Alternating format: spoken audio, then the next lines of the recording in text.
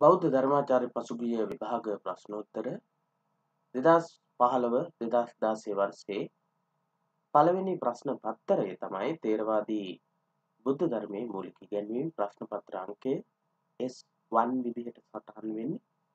ප්‍රශ්න හතරකට පමණක් පිළිතුරු සපයන්න කියලා තමයි ප්‍රශ්න පත්තරේ සකස් වෙන්නේ. ප්‍රශ්න හතරකට තමයි පිළිතුරු සැපිය යුතු වෙන්නේ.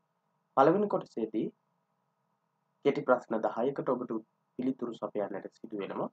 ඉන් අනතුරු දෙවැනි කොටසේදී ප්‍රශ්න කිහිපයක්ම ඉදිරිපත් කරලා ඒ අනුව ඒ ප්‍රශ්න වලින් ප්‍රශ්න හතරක් තෝරගෙන පිළිතුරු සපයන්නටයි සිදු වෙන්නේ. අපි ප්‍රශ්න කිහිපයක්ම මේ පාඩමට අදාළ මේ ප්‍රශ්න පත්‍රයට අදාළ සාකච්ඡා කළා. හත්වෙනි ප්‍රශ්නය තමයි සාකච්ඡා කරන්නට බලාපොරොත්තු වෙන්නේ. හත්වෙනි ප්‍රශ්නේ විවිධ සූත්‍ර මගින් විවිධ අරමුණු ඉදිරිපත් කිරීම පටිච්චසමුප්පාද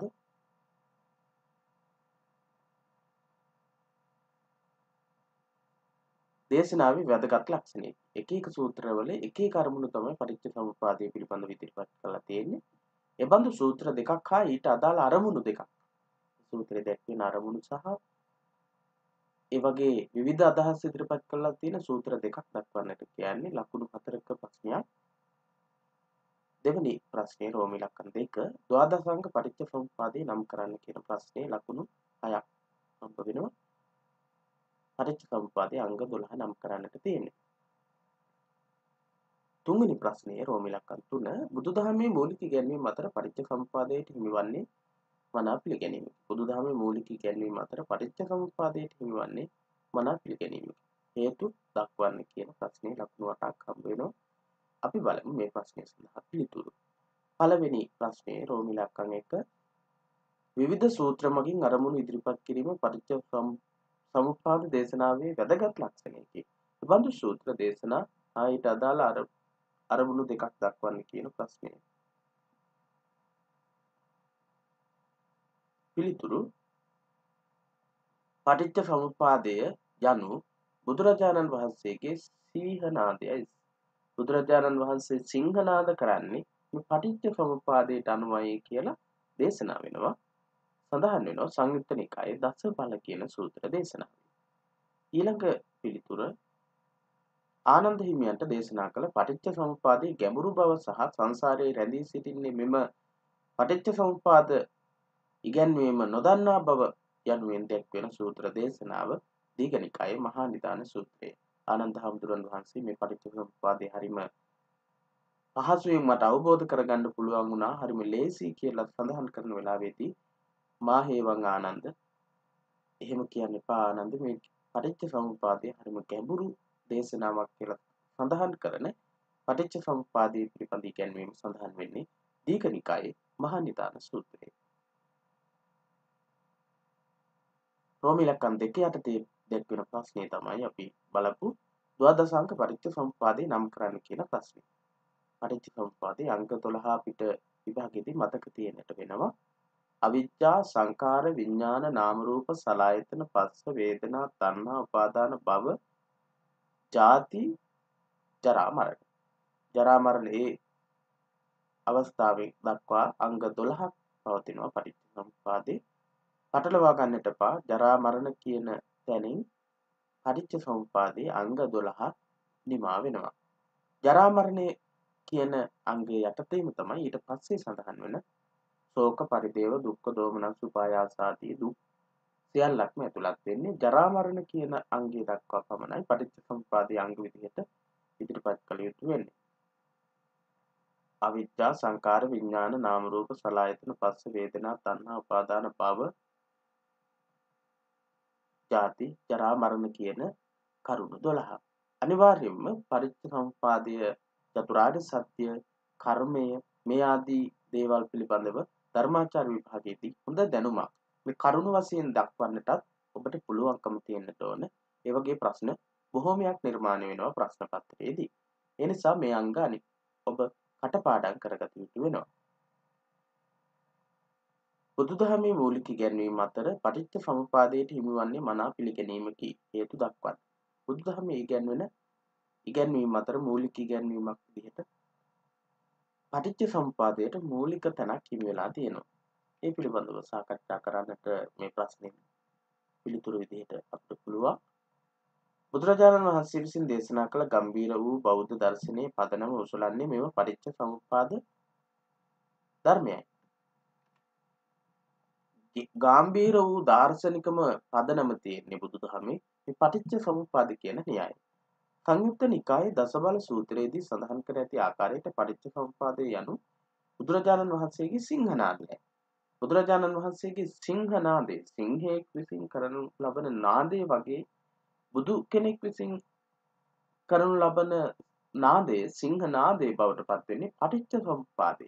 පටිච්ච සමුප්පාදයට පටිච්ච සමුප්පාදයේ ලෝකයට දේශනා කිරීම. සම්බෝධි ප්‍රතිලාභය යනු හේතුඵල පිළිබඳ අවබෝධයයි. පටිච්ච සමුප්පාදයම තමයි සම්බෝධි ප්‍රතිලාභය. එහෙම නැත්නම් බුද්ධත්වයේ ලබා ගැනීම කියන්නෙම පටිච්ච සමුප්පාදය අවබෝධ කරගන්න. එම නිසා බුද්ධත්වයට පත්ව සත් සති ගෙවන අවස්ථාවේ පළමු සතියේදීම පටිච්ච සමුප්පාදය මෙනෙහි කළා. ඒ නිසා පටිච්ච සමුප්පාදය මෙනෙහි කරමින් අනුලෝම පටිලෝම වශයෙන් මෙනෙහි කරනවා මේ අවබෝධ කරගත්ත පටිච්ච සමුප්පාදය බුදුරජාණන් වහන්සේ නැවත වතාවක් මෙනෙහි කරලා තියෙනවා. බුද්ධත්වයට පත් වෙලා පළවෙනි සතියේ ඒක සුවිශේෂයි. බුදුදහමේ පටිච්ච සමුප්පාදයට මූලික තැනක් හිමි වෙලා තියෙනවා ලබා දීලා තියෙනවා කියන එක සාකච්ඡා කරද්දී බුද්ධත්වයට පත් වෙලා පළවෙනිම සතියේදී උන්වහන්සේ පටිච්ච සමුප්පාදය අනුලෝම පටිලෝම වශයෙන් මෙනෙහි කරනවා. තවත් බොහෝ ඉගැන්වීම් බුදුදහම තුළ තියෙනවා. ඒ අතර පළවෙනි සතියේ බුද්ධත්වයට පත් වෙලා සත් සති ගත කරද්දී පළවෙනිම සතියේ පටිච්ච සමුප්පාදය මෙනෙහි කිරීම සඳහා යම්කිසි විශේෂ හේතුවක් තියෙන්නට ඕන. ඒ නිසා තමයි බුදුරජාණන් වහන්සේ පළවෙනි සතියේදීම මේ පටිච්ච සමුප්පාද ධර්මය මෙනෙහි කරන්නේ. ඒ තුලින්ද පටිච්ච සමුප්පාදයට බුදුරජාණන් වහන්සේ දැක් වූ විශේෂ අවධානය පැහැදිලි කරගත හැකියි. ඒක දැක්වෙනවා පටිච්ච සමුප්පාදං අනුලෝමං පටිලෝභං මනසා කාසි. අවිද්‍යා පත්‍ය සංඛාරා සංඛාර පත්‍ය විඥානම් විඥාන පත්‍ය නාම රූපම් මේ ආදී වශයෙන් බුදුරජාණන් වහන්සේ පටිච්ච සමුප්පාද ධර්මයේ මෙනෙහි කරනවා. පටිච්ච සමුප්පාදං අනුලෝමං පටිලෝමං මනසා කාසි.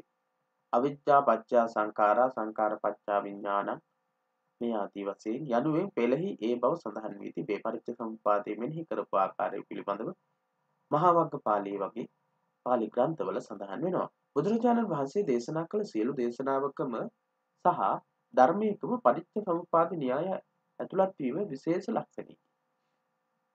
ඒ විතරක් නෙවෙයි බුදුරජාණන් වහන්සේ දේශනා කරපු බොහෝ දේශනාවල සහ ධර්ම කොට්ටාසයක් තුළම මේ පටිච්ච සමුප්පාද න්‍යාය තමයි අන්තර්ගත වෙලා තියෙන්නේ. බුද්ධ ධර්මය අවබෝධ කර ගැනීම නම් පටිච්ච සමුප්පාදය අවබෝධ කර ගැනීම බව බුදුරජාණන් වහන්සේ දක්වා තිබේ. බුදුරජාණන් වහන්සේ දේශනා කරනවා යෝ පටිච්ච සමුප්පාදං පස්සති සෝ ධම්මං පස්සති කියලා. පටිච්ච සමුප්පාදය යම් කිසි කෙනෙක් දකිනවාද ඔහු බෞද්ධ දර්ශනයෙන් බුදුදහම අවබෝධ කරගත්ත කෙනෙක් බවට පත් වෙනවා. බුදුදහම අවබෝධ කරගත්ත කෙනෙක් බවට පත් වෙන්නට නම් පටිච්ච සමුප්පාදය අවබෝධ කරගත යුතුයි කියලායි බුදුරජාණන් වහන්සේ දේශනා කරන්නේ. බුදුරජාණන් වහන්සේ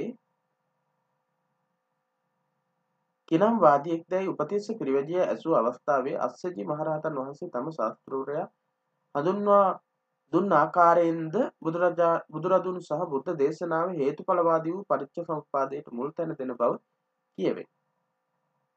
බුදුරජාණන් වහන්සේ කිනම් වාදියෙක්ද කියලා ප්‍රශ්නයක් අහනවා උපතිස්ස පිරිවැජිය අස්සජි හාමුදුරුවන්ගේ.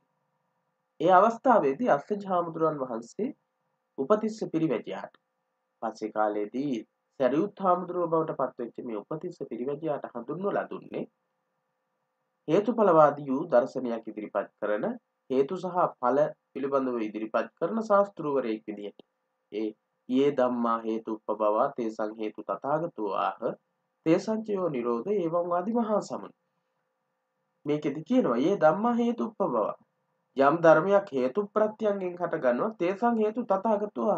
එහි හේතුව බුදුරජාණන් වහන්සේ තථාගතයන් වහන්සේ දේශනා කරනසේක තේසංචයෝ නිරෝධෝ. ඒ හේතු ප්‍රත්‍යයන්ගේ නිරෝධයත් උන්වහන්සේ දේශනා කරනවා ඒවන් වාදි මහා සමනෝ.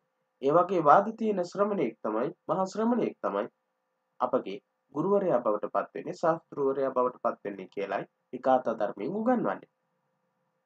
හේතු ප්‍රත්‍යයෙන් යම් ධර්මයක් හටගනීද එහි හේතුව තථාගතයන් වහන්සේ වදාළහ. යම් නිරුද්ධ වීමක් වේද එයද වදාළහ.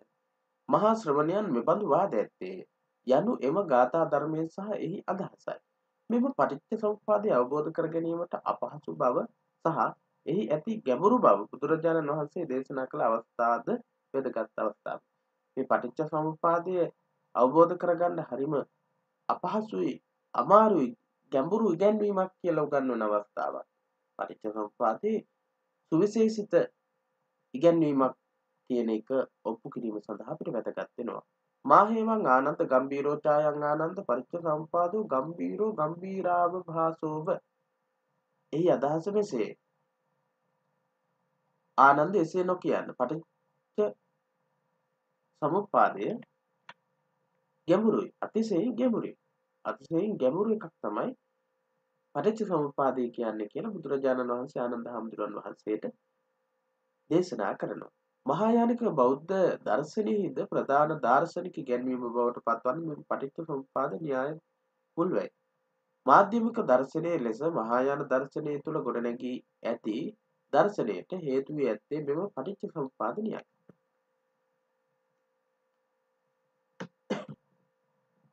මහායානික බෞද්ධ දර්ශනයේ ප්‍රධාන දාර්ශනික ගැන්වීමක් බවට පත්වෙනවා මාධ්‍යමික දර්ශනය ශූන්‍යතා සිද්ධාර්ථය කියන මේ ඉගැන්වීම මේ ඉගැන්වීම් සියල්ලක්ම නිර්මාණය වීම සඳහා පශ්චාත් කාලීන බෞද්ධ දර්ශනික සම්ප්‍රදායන් තුළට බලපෑම් ඇති කරපු ප්‍රධානතම ඉගැන්වීම බවට පත් වෙලා තියෙන්නේ පටිච්ච සමුප්පාදය. එමෙන්ම බුදුදහමේ ප්‍රධානතම ප්‍රධානතම ඉගැන්වීමට ඇතුල් ආර්ය සත්‍ය ඇතුළත් වන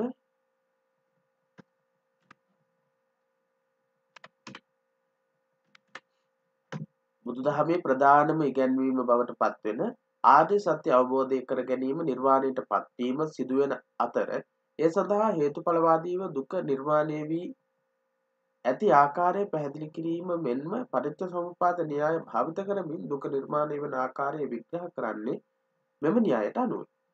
දුක්ඛ ආදී ආර්ය සත්‍යයන් පිළිබඳව උගන්වන න්‍යායයේදී දුකට හේතුව හේතු නැති කිරීම හේතු නැති කිරීම සමග නිර්වාණයට පත්වීම කියන මේ දේවල් සියල්ලක්ම විග්‍රහ වෙන්නේ පටිච්ච සමුප්පාද න්‍යායට අනුව. ಭಾರತයේ පැවති සියලු ශාස්ත්‍රතවාද උච්ඡේදවාද අදිච්ච සමුප්පන්නවාද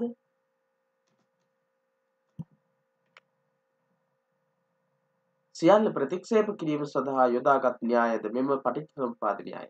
මුල් බුදුදහමේ ඉගැන්වෙන පටිච්ච සමුප්පාද න්‍යාය ඒ කාලයේ පැවතුණු ශාස්ත්‍රතවාදය උච්ඡේදවාදය අජිත් අදිච්ච සමුප්පන්නවාදය කියන මේ සියලු වාදයන් ප්‍රතික්ෂේප කරලා සත්‍ය වූ දර්ශනය යථාර්ථවාදී වූ ලෝකයේ පිළිබඳ තොරතුරු ඉදිරිපත් කිරීමට යොදාගත්ත එකම න්‍යාය බවට පත් වුණේ පටිච්ච සමුප්පාද න්‍යායයි. ඒ අනුව බුදුදහම තුළ පටිච්ච සමුප්පාදයට හිමි වුණු සුවිශේෂී භාවය පැහැදිලි කරගත හැකි වේ. ඒ අනුව අපිට පුළුවන් බුදුදහමේ පටිච්ච සමුප්පාදයට හිමි වෙලා තියෙන සුවිශේෂී තැන අවබෝධ කර ගැනීම සඳහා ඔබ මේ වගේ පිළිතුරක් ගොඩනැගීමේදී විශේෂයෙන්ම විශේෂිත උදාහර තුනක් හෝ හතරක් පාවිච්චි කරලා තොරතුර පිළිතුර ගොඩනගන්න පුළුවන් ඒ අනුව එක එක කොටස් වෙන වෙනම ඔබ පැහැදිලිව සඳහන් කරන්න. නිල් පාට කළු පාට වගේ වර්ණ තියෙන පෑන් දෙකක් විතර පාවිච්චි කරලා විශේෂ කරුණු විශේෂ කරලා දක්වලා පැහැදිලිව පිළිසිතුව ඔබට පිළිතුරු ඉදිරිපත් කරන්නට පුළුවන්. එවිට ඉතාමත් හොඳින් මේ ලකුණු ලබා ගන්නට පුළුවන්. ප්‍රශ්නය හොඳින් තේරුම් අරගෙන පිළිතුරු කොට නැගීමට ආරම්භ කළ යුතුයි. ඉතින් අපි ඒ සාකච්ඡා කළේ පටිච්ච සමුපාදයට බුදුදහමේ ලැබිලා තියෙන මූලික තැන පිළිබඳව පටිච්ච සමුපාදී අංග 12 ඊට අමතරව විවිධ සූත්‍ර දේශනාවල විවිධ අරමුණු විවිධ අදහස් පටිච්ච සමුපාදය තුළ දේශනා කරලා තියෙනවා. ඒ වගේ දේශනා වෙලා තියෙන සූත්‍ර දෙකක් අපි සාකච්ඡා කළා. ඉතින් ඒ පමණක් නෙවෙයි මේ පටිච්ච සමුපාදය පිළිබඳව කියවිලා තියෙන සූත්‍ර බොහෝමයක් පිළිබඳව සූත්‍රවල අන්තර්ගත වෙන බොහෝ කරුණු පිළිබඳව මේ පාඩම් මේකකේදී සඳහන් වෙලා තියෙනවා. ඒ සියල්ලක් පිළිබඳවම කතා කරන්නට බලාපොරොත්තු වෙන්නේ නැහැ. ප්‍රශ්නයට අදාළ පිළිතුරු අපි සාකච්ඡා කළේ ධර්මාචාර්ය පසුගිය විභාග ප්‍රශ්නෝත්තර හත්වෙනි ප්‍රශ්නය කතා කළේ 2015 2016 වර්ෂයේ පළවෙනි ප්‍රශ්න පත්තරයේ ප්‍රශ්න පත්‍රාංක 1 යටතේ දැක්වෙන තේරවාදී බුද්ධ ධර්මයේ මූලික ඉගැන්වීම් කියන ප්‍රශ්න පත්‍රයට අදාළ ප්‍රශ්නයක්. ප්‍රශ්න හතරකට පමණයි ඔබ පිළිතුරු සැපිය යුතු වෙන්නේ. ප්‍රශ්න හතරක් සම්පූර්ණ ඔබ ඉදිරිපත් කළ යුතුයි පිළිතුරු ඉදිරිපත් කළ යුතුයි. ඉතින් ඔබට ඒ සඳහා අත්වලක් වෙන්නට ප්‍රශ්න පත්‍ර සකස් වන විදිහ ප්‍රශ්න පත්‍ර වලට පිළිතුරු ඉදිරිපත් කළ යුතු ආකාරය ආදී පිළිබඳව මේ තුලින් සාකච්ඡා කරනවා. ඔබට පුළුවන්කම තියෙනවා පිරිවෙන දහම් පාසල හා පාසල කියන අපගේ YouTube නාලිකාව ඔස්සේ ඉදිරිපත් වෙලා තියෙන පාඩම් සියල්ලක්ම අධ්‍යයනය කරන්නට ඒ වගේම subscribe කරන්නට ඒ වගේම දන්න කියන යාළුවන්ට හිත මිත්‍රාදීන්ට ඔබ මේ පිළිබඳව දැනුවත් කරන්න අන්තර්ජාලය හරහා ධර්මාචාර විභාගයට අදාළ කරන පාඩම් සකස් වෙමින් පැවතුනේ නැහැ. ඒ නිසා තමයි අපි ධර්මාචාර විභාගයට මේ විදිහේ අත්වලක් සපයන නාලිකාවක් ආරම්භ කරන්නට අදහස් කරන්න තියෙන්නේ.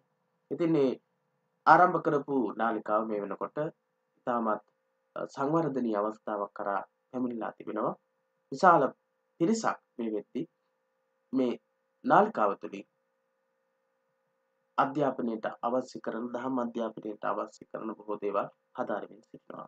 ඉතින් ඔබටත් අපි ආරාධනා කර සිටිනවා මේ නාලිකාව සමග එක්වෙන්න අපි අපේ දුවාදරුවන් වෙනුවෙන් අපේ හිතමිත්‍රාදීන් වෙනුවෙන් අත්වලක් සපයමින් එයායට හොඳ ශක්තියක් ලබා දෙන්නට හොඳ දහම් දැනුමකින් යුක්තව විභාගවලට මුහුණ දෙන්නට පුළුවන් තත්ත්වයට පත් කරන්නට උදව්වක් උපකාරයක් ලබා දෙන්නට කටයුතු කරමු කියන සිහිපත් කිරීමක් සිද්ධ කරමින් ඊළඟ පාඩමින් හමුවීමේ බලාපොරොත්තුවෙන් ඔබෙන් සමුගන්නවා තෙරුවන් සරණ ප්‍රාර්ථනා කරමින්